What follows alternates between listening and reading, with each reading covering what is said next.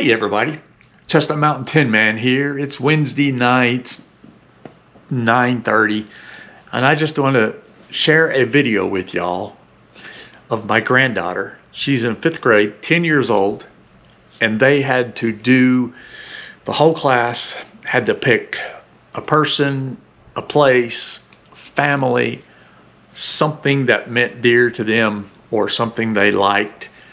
And um, they were acting like a machine where you come up and hit a start button and it gives the history like that person telling you about themselves. And she did queen elizabeth. I think she did some pretty cool research and uh, did really good doing this. Um, one of the girls um, had told her she made a mark on her paper every time that somebody came up and she did it. And it was around 60 that blows my mind. How exhausting.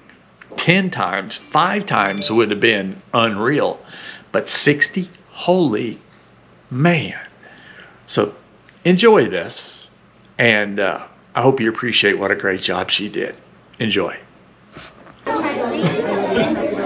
I am Queen Elizabeth II. I was born in Mayfair, London, United Kingdom on April 21st, 1926 and died September 8th, 2022, just a few months ago at age 96 years old. I was crowned queen when I was 25. I was queen for seven years. I was the longest living queen ever. My dad came destroyed the was king before I became queen. Also, I was named after my mother. I met my husband Philip when we were eight years old and fell in love with him at a young age. But we were not married. We were not engaged until we were 21 in July 1947. Then we were married four months later in November.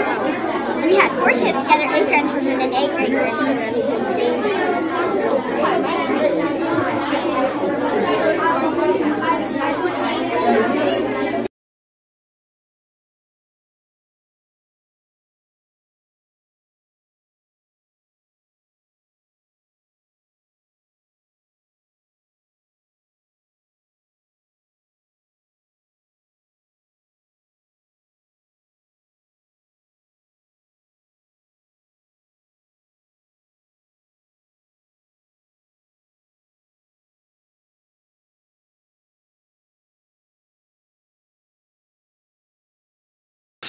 Well, I hope you enjoyed that.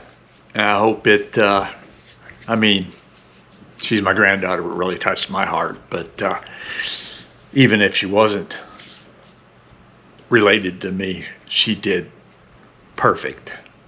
Um, of course, I saw it a couple times too. But I hope you enjoyed it and a little something different on the channel.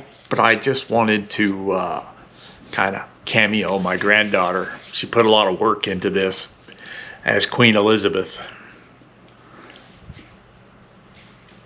Along with the poster, also the the blue hat in the picture with the poster board, that was her great great grandmother's hat. She decided to wear the crown for doing uh, the bit, but she took pictures in in her great great grandmother's hat too. So, pretty cool deal. Thanks for watching, and uh, don't forget to like, comment. See ya.